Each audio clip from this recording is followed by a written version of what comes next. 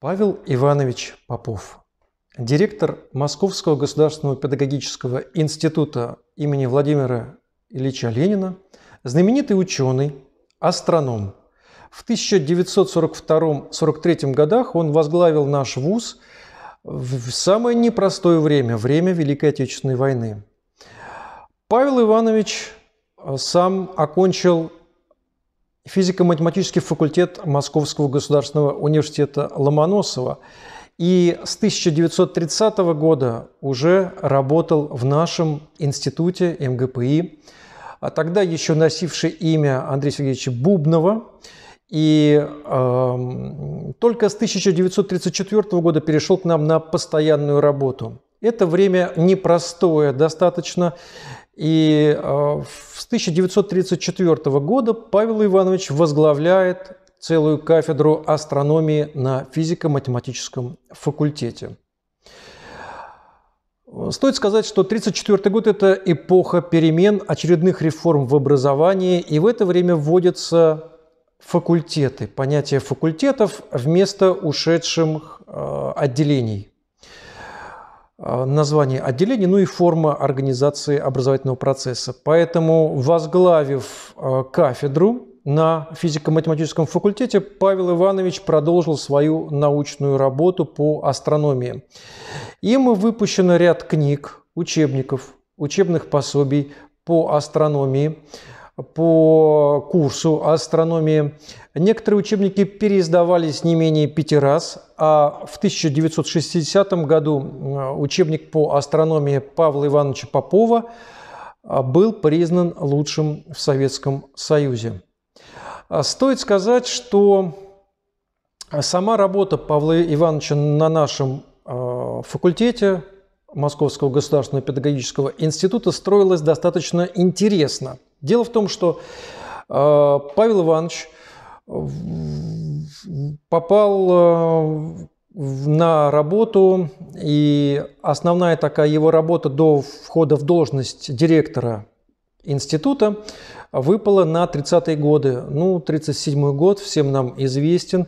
И в этот период э, Павел Иванович даже подвергся определенным, скажем так, взысканием со стороны руководства МГПИ, ну и а, руководства районного комитета партии Фрунзенского района за то, что он и ряд нескольких преподавателей не смогли организовать должным образом качество подготовки студентов. Вообще вот этот студенческий а, вопрос, который возник в 1936 году, обсуждался в 1937 и в то время мог стоить даже жизни человеку, а, возник не сразу, он как бы так накапливался, но выпал на долю в том числе и Павла Ивановича Попова, который руководил кафедрой астрономии.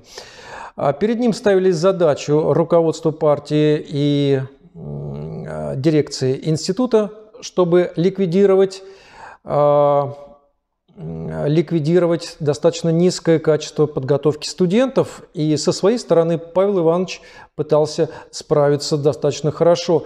В 1937-1938 учебном году качество студентов повышается, качество подготовки студентов повышается, и руководство МГП даже снимает взыскание с Павла Ивановича Попова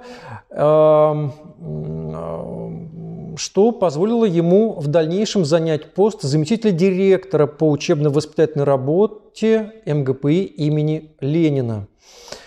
А, вот такой вот непростой путь Павел Иванович прошел а, в нашем ВУЗе. Работал он достаточно долго, а, вплоть до самой смерти. И вот его такой труд э, на благо ВУЗа в, самые суровые годы Великой Отечественной войны, 42-43 год, 43 как мы знаем, это переломный год в Великой Отечественной войне, заставляет нас говорить о том, что Павел Иванович был человеком с волевым характером, целеустремленный. И об этом говорят и воспоминания его коллег, современников, например, следующее, что высокий научный уровень лекций Павла Ивановича, большая внутренняя культура, исключительное трудолюбие и добросовестность, уважительное отношение к людям создали Павлу Ивановичу Попову огромный авторитет и уважение среди студентов и преподавателей МГПИ имени Ленина. А за многолетнюю безупречную работу э, Попов награжден орденами Ленина, Трудового Красного Знамени, медалями за доблестный труд в годы Великой Отечественной войны, медали Ушинского и значков «Отличник народного просвещения». А стоит сказать, что вот после этого студенческого вопроса в 1937-1938 годах министр просвещения по результатам отчета о качестве подготовки студентов в 1938-1939 году даже наградил в числе прочих преподавателей Павла Ивановича а, высокой наградой и благодарственной грамотой. Попов Павел Иванович, астроном и педагог.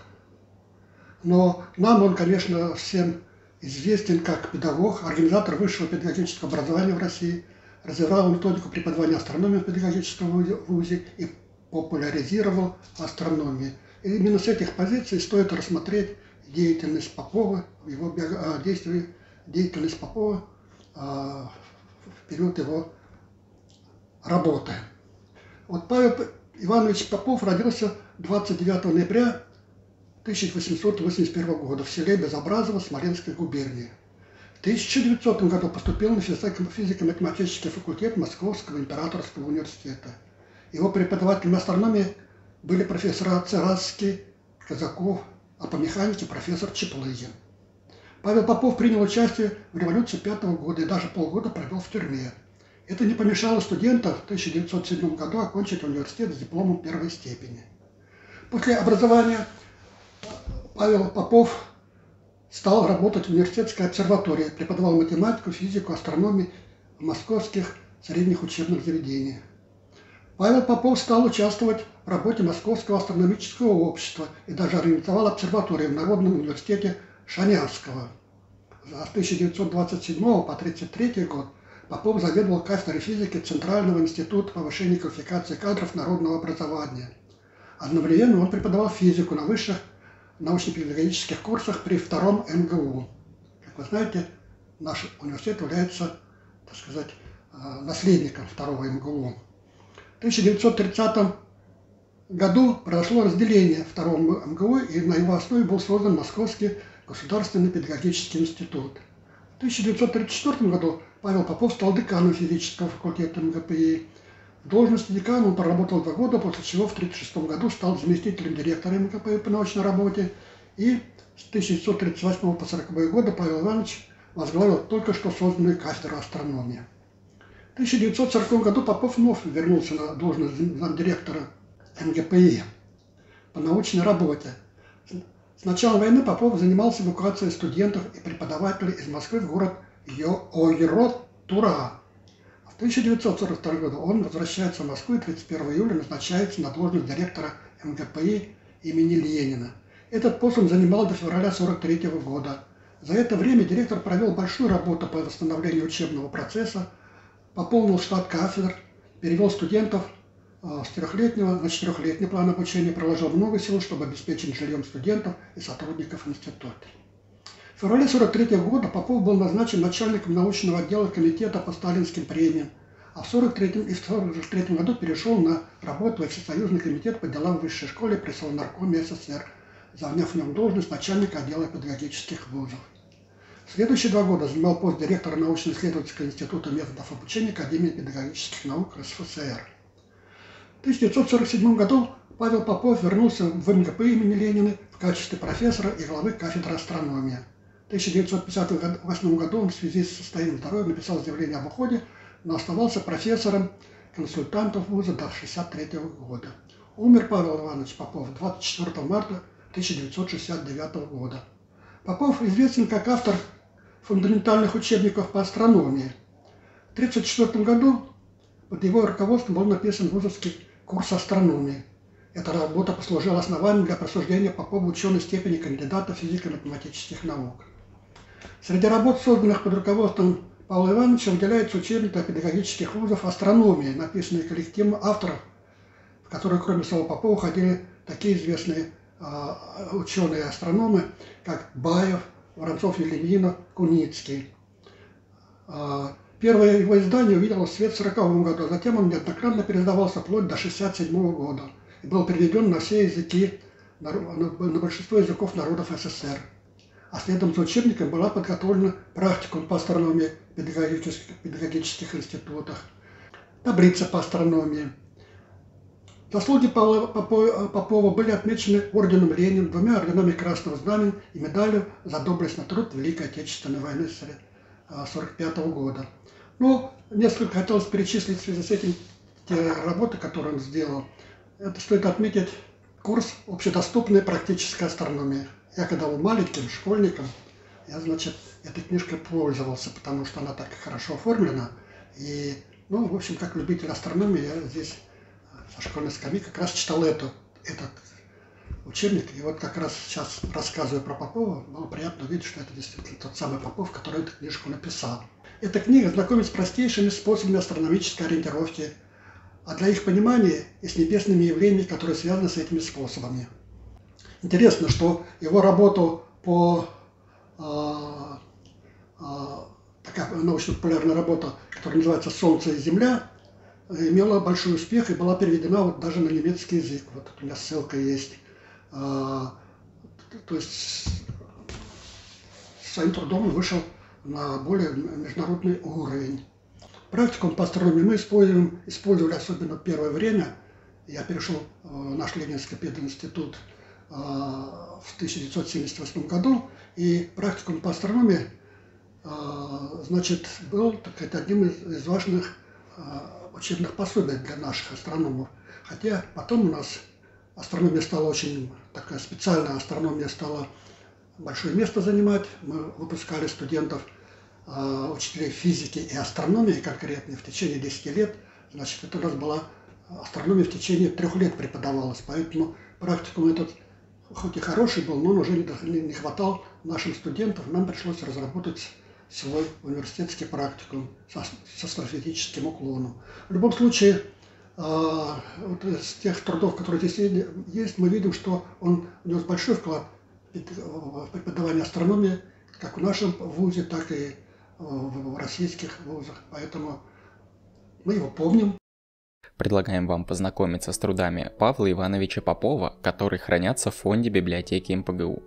Издания, доступные в электронно-библиотечной системе МПГУ, сопровождаются QR-кодом для перехода к электронной версии. Научно-популярное издание «Солнце и Земля».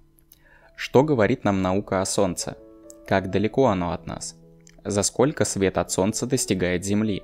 На эти и многие другие вопросы ответит эта брошюра любознательному читателю – Цель книги – познакомить с простейшими способами астрономической ориентировки, а для их понимания и с небесными явлениями, которые связаны с этими способами. Астрономия – наука о небесных светилах. Как и все науки, в наше время оно быстро растет и развивается.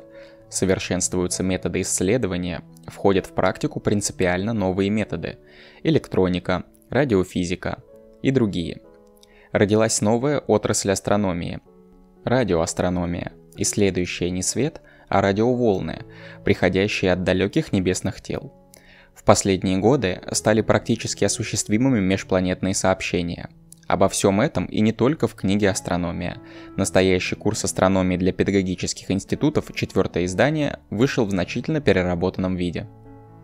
Настоящее руководство появилось в результате опыта проведения практических занятий по астрономии – в течение ряда лет кафедры астрономии Московского государственного педагогического института имени Владимира Ильича Ленина под руководством заведующего кафедрой профессора Попова.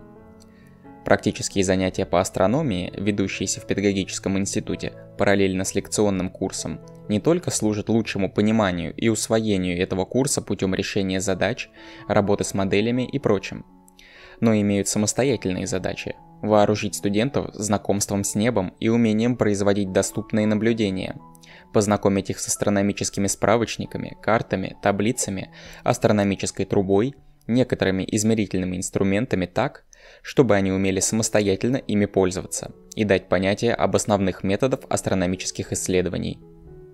Представлено пятое издание широко известного учебника «Астрономия» для физико-математических факультетов педагогических институтов. В книге ректора МПГУ представлен очерк о Попове Павле Ивановиче. С перечнем работ, хранящихся в библиотеке МПГУ, можно ознакомиться в электронном каталоге МПГУ. Работа с изданиями возможна в отделах библиотеки МПГУ.